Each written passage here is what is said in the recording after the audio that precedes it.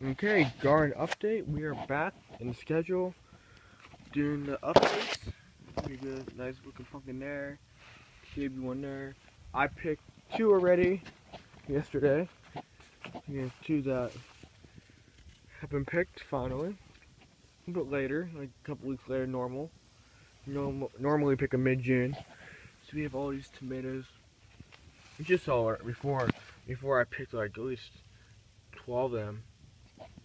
We still have so many. They're all coming at once. Instead of all coming like throughout July and August, they all came at one time. Put the squeeze back here. This is another pumpkin there. That one there. They all, they all, there's so much weight they all fell over. There's a cluster back there. They're doing really good. So much weight, they're all falling over. Okay, these these plants didn't make it. Thyme was gone. I guess because the year got too cold, or so there wasn't anything left in the soil.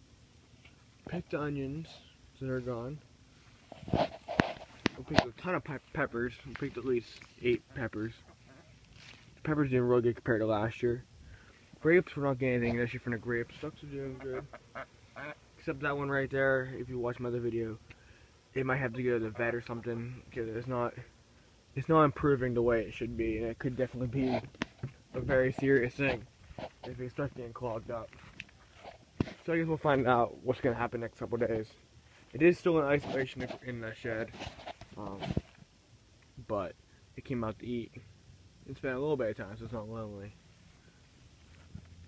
Blackberry's doing good. the funny thing is on this one, there's a bug on it. We have the yellow raspberries finally gave fruit, which I didn't think they're going to next year. But it's still late. It's already August. And okay, they're thinking like it's June. It's all confused. So yeah, we're actually gonna have yellow raspberries, surprisingly.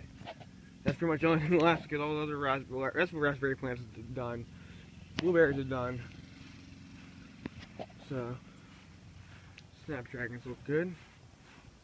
We had a lot of um, strawberries, which I picked. You have a lot more too. Know, like everything's coming at once. Yeah, I could probably pick that one soon. Everything's coming at one time, it seems like. There's tomato plants looking good there. Peach trees finally bit the dust.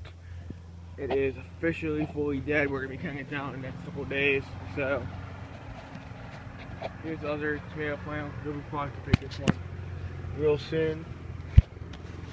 Um, these ones, I don't know. Problem every year we had a couple good years, and I don't know what happened. These We only get really, really small, small cantaloupe. I don't even see any watermelon. There's a cantaloupe right there. I don't know. We had a couple good years, and then it just stopped. We had one, at one point we had a 15 pound watermelon, so I don't know. It's definitely possible, but I don't know what's happening. I don't know why. I've been tough the last couple years. Blueberries are from they're done. They're starting to, to turn colors. Because the way our days been here been so cold, it feels like fall. It feels like more like September, October.